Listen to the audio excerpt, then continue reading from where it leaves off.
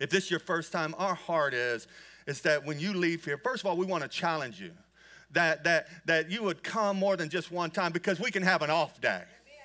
All right, we can have an off day. But our, our, heart is, is this whether it's your first time or you come four or five times, and here's our heart is that you will love God more, that you'll want to love His people more, that you would want to lead a God first centered life, that you want to put God first in your life, and that you would want to live in community that you want to live in the, in, with the body of Christ, to do life together, I can tell you this that you were not meant to live life alone.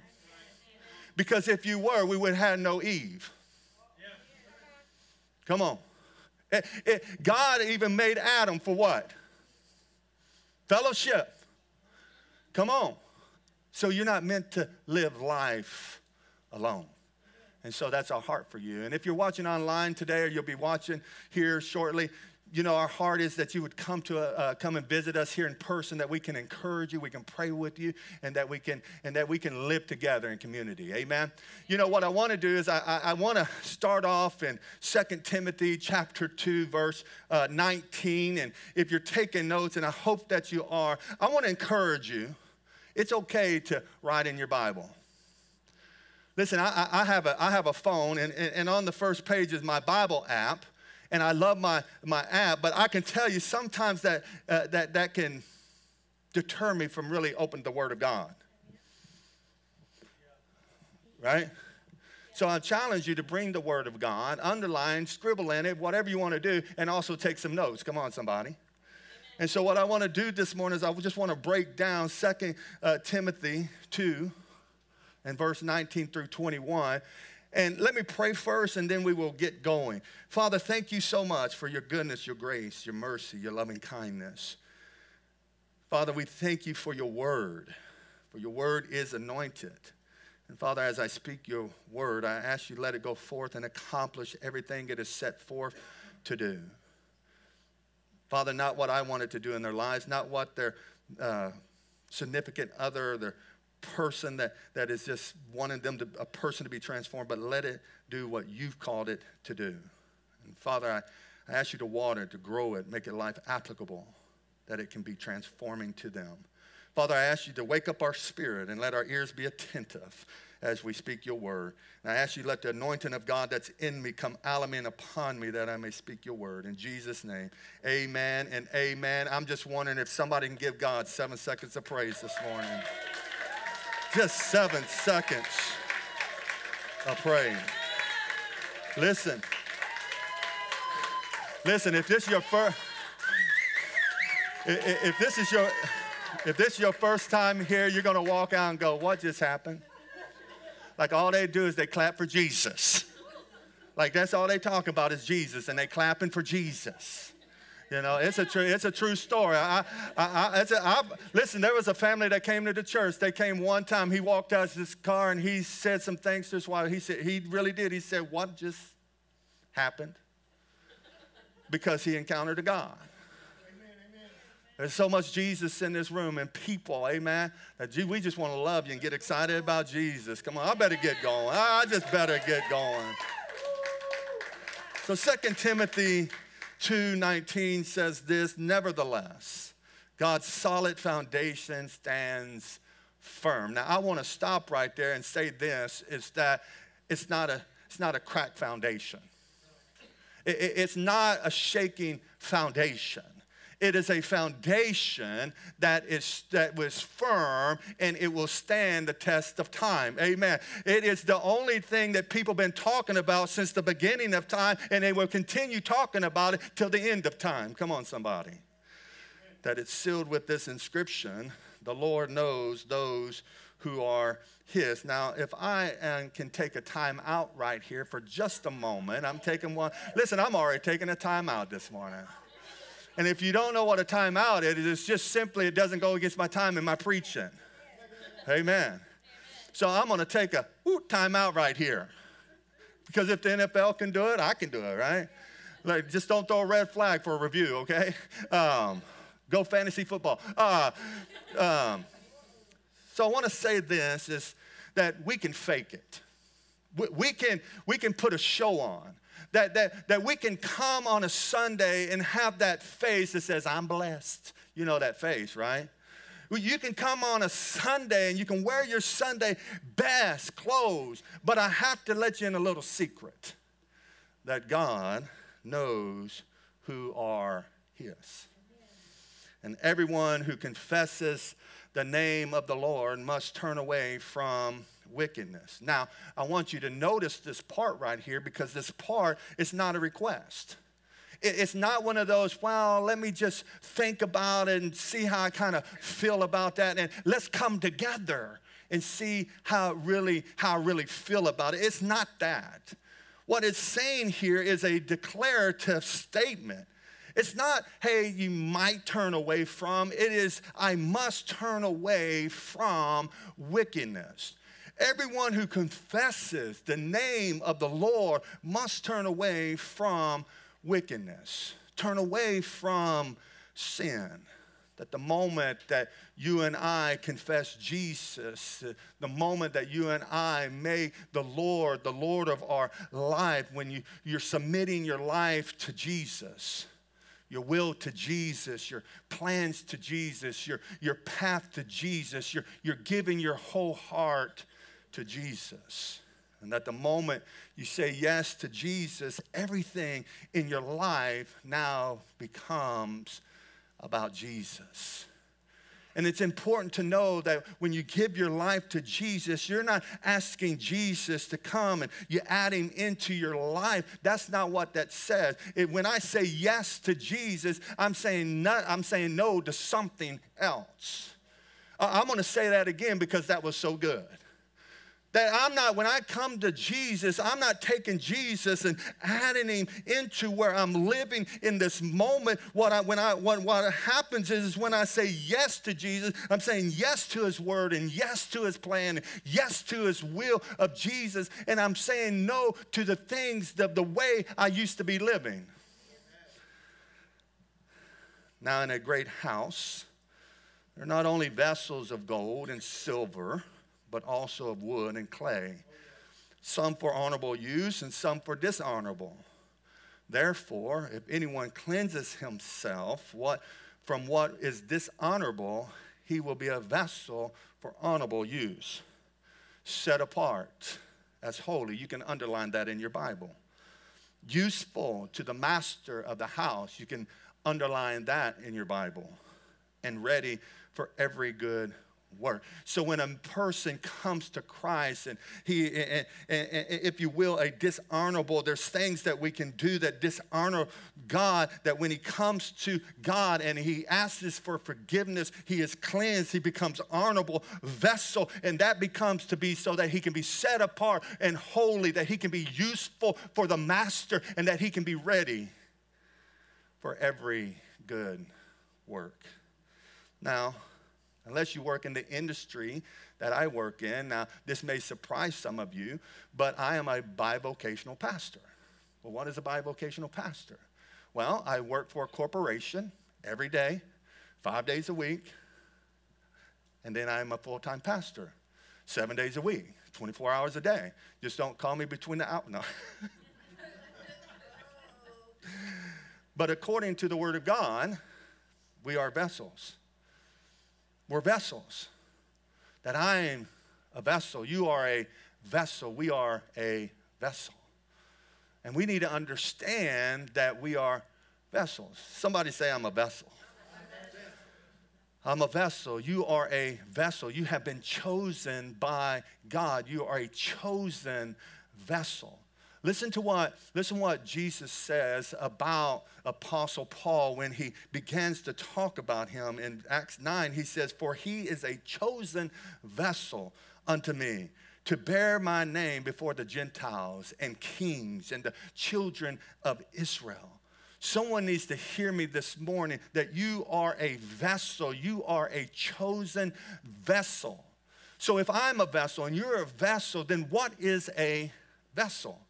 A vessel is an instrument made to contain and to carry something of value.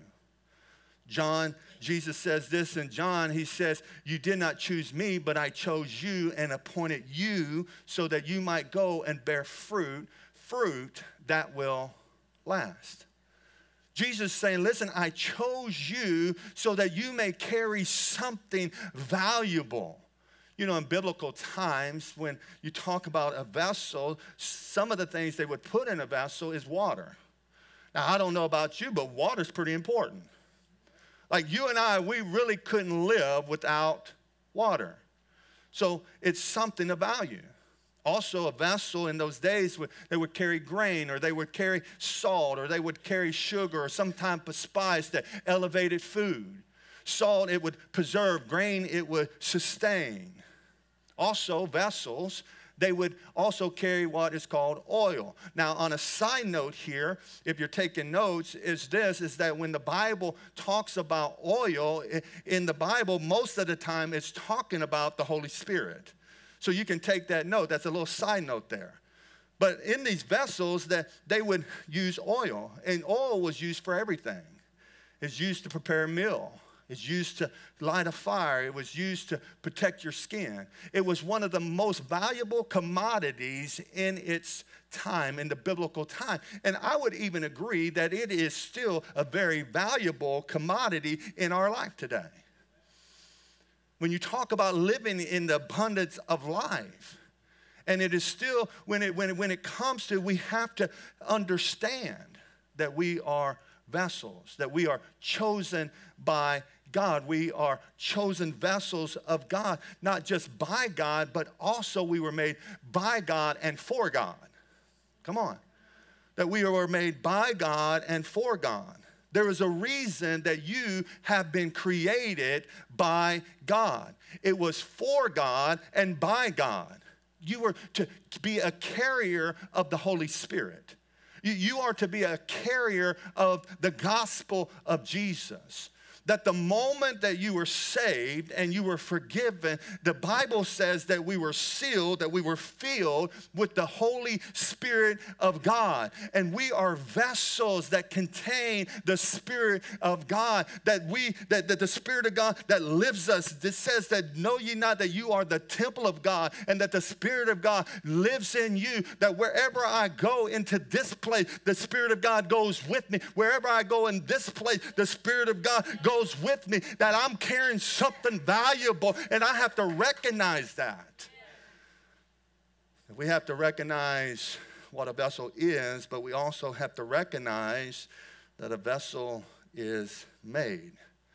That no vessel made itself. No vessel just appears to exist. No, no vessel uh, can shape or make or, or form itself. No vessel can make it itself better. In, fa- in fact, I would even say this that we can't make ourselves better. It's only the Word of God. It's only the breath of life. It's only the Holy Spirit, the breathed and inspired Word of God that can make me better. I can't make myself better. I, I, can't, I can't shape me into the man of God or the woman of God that God has called me to be. But there is one thing I can do that I can place my hand, my life in the hands of the one who can. I should get an amen right there. See, I, I, can't, I can't make myself into the man of God, or, or uh, to, to, to, I can't make myself even do what God has called me to do until I put my life into the hand of the one who can. I am a vessel. See, a vessel is only as good as the hand of the potter who made it. I thank God that He made me. I thank God that I'm made by God for the purpose of God, for the glory of God. Who else can make me better than God? Who, can, who, can, who, who is better than, than shaping me than God? See, a vessel exists for the maker's purpose and not its own. That's good right there. That, that's a little golden nugget that you can take home with you. That a vessel exists from the maker's purpose and not of its own. And I think sometimes we get this backwards. In Romans 9, it says, Does not the potter have power over the clay? I mean, how oftentimes will we think, well, you know, that pot right there has got some power over me? Now, it only has power over, this is side note, okay? This is not even in my notes here. It only has power over you if it's somebody has a, a handle on and about to swing it. Uh-huh. uh-huh. Oh, you got that now, huh? of course, the, of course, the potter has power over the clay. The clay has no power over the potter. And it's important for us to realize that we are vessels and that we were made for God and for God. That we don't exist for ourselves, but we exist for the glory of God. Come on, somebody. That I exist to serve God and the purpose of God in my life. That I have been set apart. I have been set apart by God and for God. I have been set apart to be holy. Come on. If I have to say it again, that I'm made by God, for God, chosen by God, set apart by God to be holy. Just as he who called you is holy, so be holy in all you do. For it is written, Be holy because I am holy. So when we look at this verse, this should be our goal for every Christ follower. This should be our goal, not to be a better me, but to be more like Jesus. Uh, not to be a better version of me, not to not of who I once was, but to be more like Jesus. Are you with me, church? That we have to recognize that we can't be holy apart from Jesus. It is the work of God inside of me. It's the work of God that is inside of you that transforms you into the Christ like image. But yes, we have a part to play. Say, I got a part to play. See, we have a part to play to yield to Him, to submit to Him, to surrender to Him, to follow Him, to obey as He leads, to lean into the conviction of the Holy Spirit, to honor and to value and to walk by His word according to His will. Why? Because it is God's will that you should be sanctified, which means to set apart and be holy. That, that, you would, that you should avoid sexual immorality what that means is that we don't look like other people. We don't go where other people go. We don't, we don't do what other people do. We look different. It just means that, that we have to learn to avoid situations where you know you will be tempted. Now, I want to tell you here, my wife can testify. This year, I have traveled a lot. If you want to know how much I've traveled, I have been on a plane probably uh, almost 40 times in a year. So when I take off and land, that's one time. All right? So if you do the calculations, about 20 times I've, I've been on a flight back and forth. My wife can tell you that when I go and I leave and I'm done with uh, the, the place that I'm at and I got to go back to the hotel, unless I stop off and go to a sports memorabilia shop. um, yeah. Amen. If you know anything about me, I'll start, I'm into this sports memorabilia thing, okay? All right, so, so my wife can tell you, unless I stop off there, I will go from the office, go to my hotel, drop off my bag, go and eat something, come back. I got to stop off at the front desk because they got them little snacks there. I got to grab me a snack. And I grabbed me a water, a couple of them, and I said water. And I grabbed some snacks. I go up to my hotel room and I lock myself in. The reason why I do that because I'm not going to be tempted. I'm not going to go somewhere where the enemy can tempt me. Come on. I, I, I know, hey, I'm human. I, I'm human. For every man here, I'm going to tell you we're human. Amen. So I'm gonna go hide myself. Listen, I even tell my wife, my wife, she'll be texting me at nine o'clock. I'm not answering. You know why? I'm asleep. I'm trying to get home. I'm trying to get home to my wife. I'm trying to get home to my kids. I don't need somebody else trying to tempt me to go to somebody else's house. Come on, somebody. That's why I, I guard myself. I, I, I, listen. When temptation, you got to learn not to go to places where you're where you know you're gonna get tempted. Oh, I know I'm preaching to somebody today. And when those temptations come, you just got to say no. You just got to say, oh, no. Verse 4 says that each of you should learn to control your own body in a way that is holy and honorable. Uh, you, you might have missed that, but I want to tell you it says that you should learn. That means these things are learnable. You can be intentional in these things.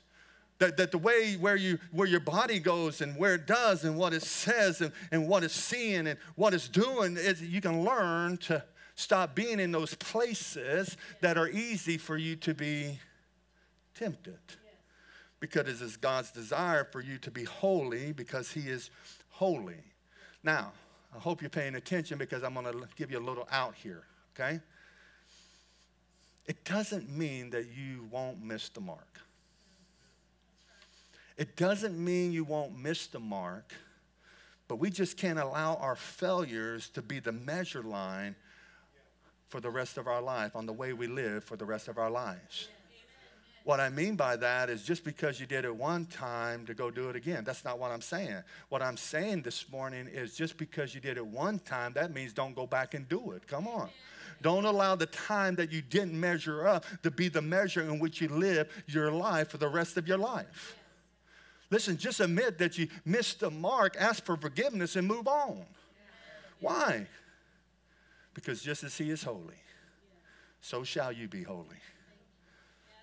Now, in a great house, there are some honorable vessels, and then there's some dishonorable vessels. Therefore, turn from being dishonorable. In fact, I, I want to move a couple of verses back to verse 14 in 2 Samuel or 2 Timothy, verse 2, is where Paul is writing Timothy, and he says this He says, Keep reminding God's people of these things. He says, Warn them I, will say that again. He says, keep reminding God's people of these things and warn them. In fact, if you keep on reading Second Timothy, it does mention how you can live a dishonorable life. But you and I are to be called sanctified, set apart for God, but also set apart from the world. This just jumped in my head. You know, I'm an alien of this world. I'm just passing through.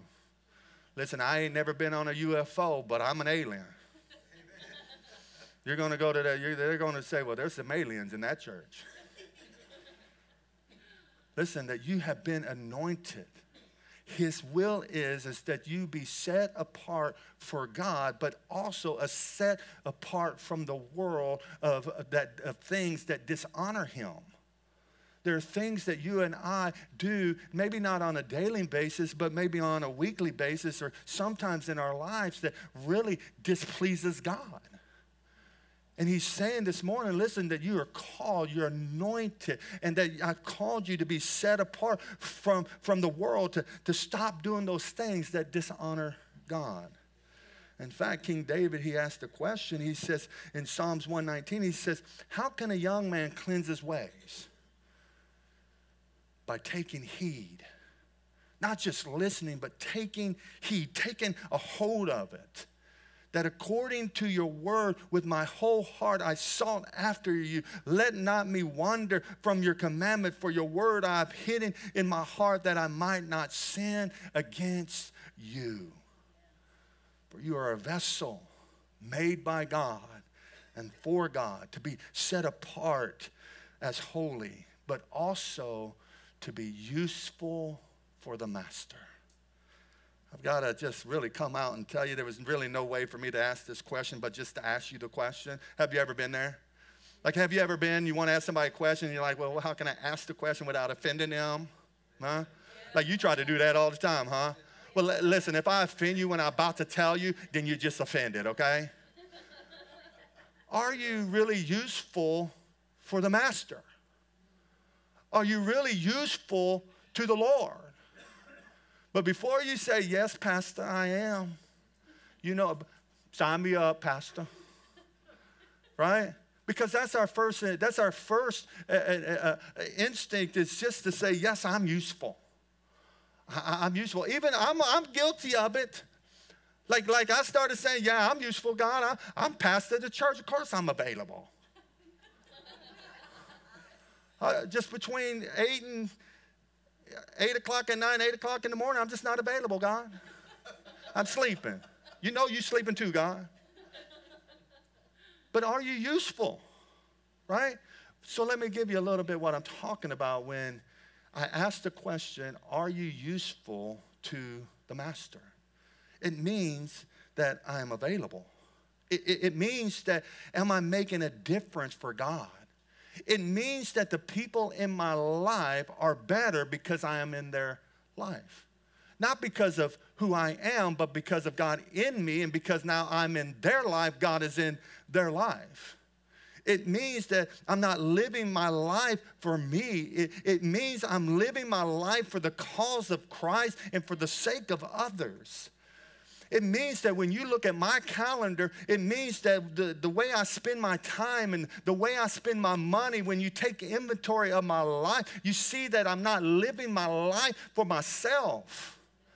It means that I'm not spending my money only on me. I'm not spending only my time on me. I'm engaged in working for the kingdom that matters. It means that I'm just not showing up on Sunday, but I'm serving on Sunday. It doesn't, it means that I'm not just partaking of something, but I'm investing into something. It means that I rarely show up to church because why? Rare, let me rephrase that. It rarely means that I show up to church alone. Because why? There are people in my pathway that need Jesus. So I am always bringing somebody with me to the presence of God, somebody that can engage with the Holy Spirit because their life is forever. I want them to forever be changed and transformed. That's what it means to be useful. I have a part to play, and I'm going to play it. It, means that I'm going to play, I have a part to play. It might not be perfect. It might not be perfect, but I'm still going to play it because I'm a vessel. I've been made by God and for God to be set apart as holy, to be useful to the Master, and to be ready for every good work. So, how? How do I be this vessel? How, how do I be this holy vessel? How do I be this useful vessel? How do I be this ready vessel? What, what is the path that I, I can take to be this vessel, to be ready for every good work? Well, for the next hour, let me give you my thoughts. Um, you, you know I'm not. I, I, listen, I've never, I'm, I'm going to be honest with you. I'm a, I have only preached 45 minutes, maybe twice, uh, uh, that I've been doing ministry. So don't worry about us going an hour, all right? Amen. Amen. Okay? So let me give you a few of my thoughts real quick with the remaining time that I have. A holy vessel is a humble vessel. See, we need to acknowledge who we are and whose we are. I'm a child of God. I was made by God for the purpose of God, to bring glory to God. It is no longer I who live, but it is Christ that lives within me. Because when I think about who I really am, I am just the dust of the earth. Yes. And you know what surprises me? Nothing against you women. You know what? After I say this, just forgive me after that, okay?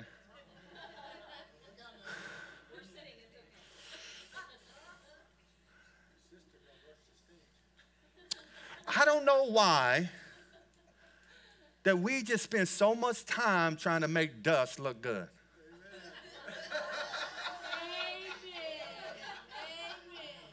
Uh, uh, girl, I ain't talking about you.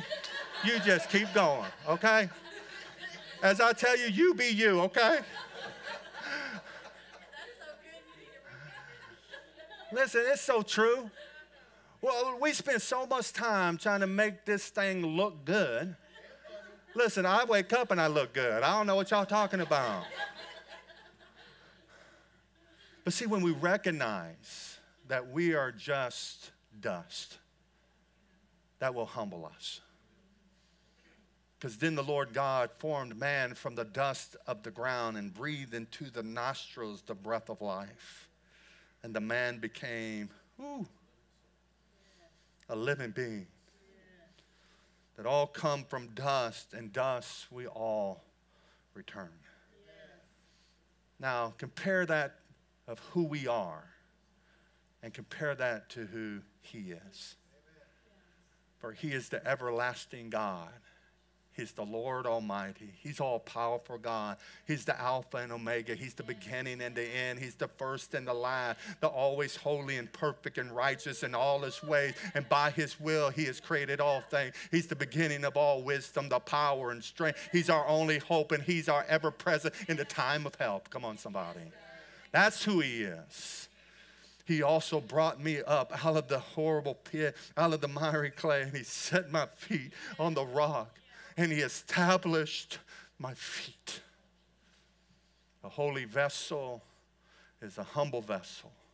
It recognizes that the breaths in these long, uh, on these lungs, and it is the spirit that is alive and is working inside of me, that I'm just a piece of clay that he has chosen to be used for his glory. That he chose to use somebody like me in 2 Corinthians 4, we're reminded that we have this treasure, the gospel, the Spirit of God. But we have these treasures in earthen vessels that the excellence of the Spirit, of the power may be of God and not of us. That we need to be reminded that we have, we are carrying value that the anointing we carry, the gifts we carry, it doesn't come from you, but it comes from above. It's in you, but it comes from God. The anointing you carry, the talents you carry, it doesn't come from you, but it comes from God. Yes, it's in you, but it's not from you, it's from God. We can't get any gooder. I'm just seeing if you're paying attention. Hmm like I live somewhere. We can't be good or any better apart from Him. See, a holy vessel is a humble vessel, but a humble vessel is a broken vessel. See, the more you want to be used by God, just know the greater the breaking that will be required. Tony Evans said it this way Dr. Tony Evans, he says, Everybody wants the blessing, but nobody wants the brokenness. It's the brokenness that leads to the breakthrough. Everybody wants to be blessed, but nobody wants to be go through the breaking. Nobody's grateful in the breaking, but when we come out of it, hello. See, it is the breaking. The potter can remake it and reshape it. I'm reminded of Jeremiah 18 when the Lord spoke to the prophet Jeremiah. And he tells Jeremiah, he says, Hey, Jeremiah, I want to show you something. What I want you to do, Jeremiah, I want you to go down to the potter's house. So Jeremiah gets up where he's going. He goes to the potter's house. And right there at the potter's house, he begins to take the, he sees the potter, he takes this clay and he's shaping it and molding it, and he's doing this and his pottery thing, you know, and he's doing it, and he looks at it, and it's marred, it's cracked. The Bible says, instead of throwing it away, because by the way, if the potter was grab some clay and it and he'd make it, and if it wasn't good enough clay, he'd take it up and he'd throw it away. But the Bible says that he took it and he reshaped it and he made it into another. Come on, somebody. See, most of us in our current state, we are not ready to be used by God the way He wants to really use us moving forward. It doesn't mean he can't use us. I'm just simply saying that in our current state, we're not ready to do all that God wants for us to do. But by his making, by his breaking, and by his remaking. See, we don't really understand. I, am wondering, just listen, I'm gonna be the first one to raise my hand. So you can either lie or you can join me, okay? I'm just wondering how many people in the room ever raised their hand and said, God, just use me. Like, like, God, just use me. Well, whatever it's for, God, just use me. See, we don't really understand what we're asking when we say, God, use me. Because, see, it will require a cutting away of some things that dishonor Him. It's going to require some breaking of your own will for His will. Because in the process of that, it may bring you to a place you don't want to be. And that's on your knees. It may bring you to a place where you can't go any further but by Him. See, a broken vessel is also an open vessel. It's saying, Lord, I am willing for you to have your way in my life.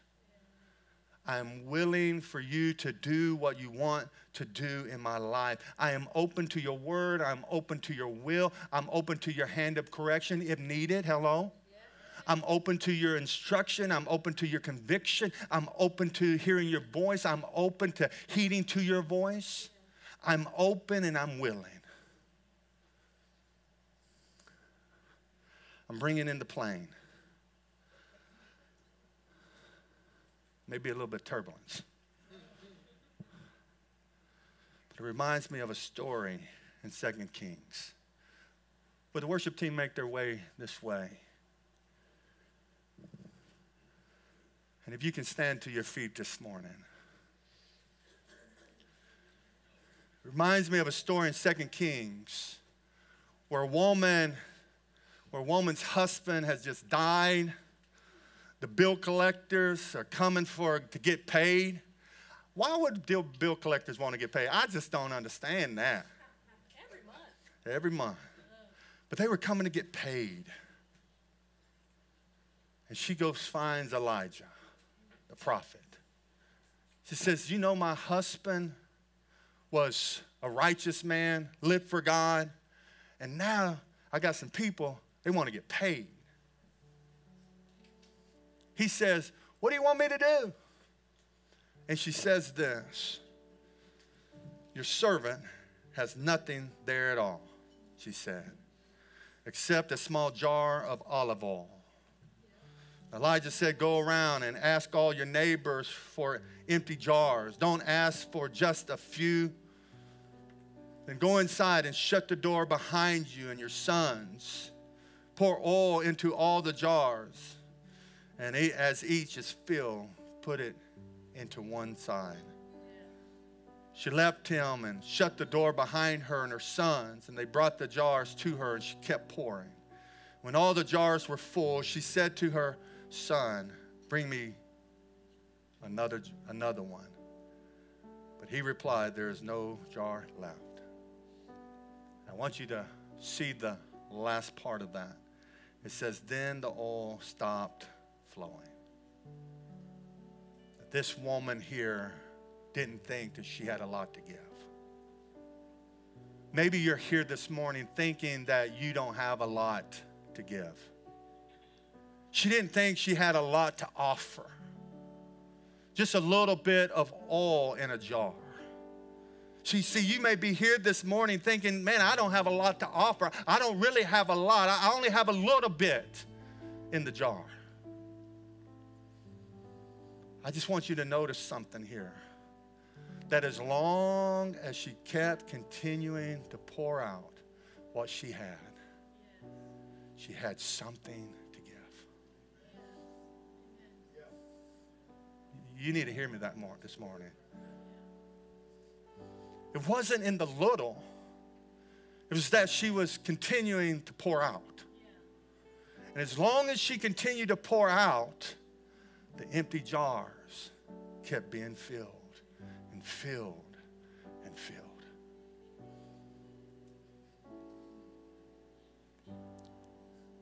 I believe this is a picture of you and me this morning.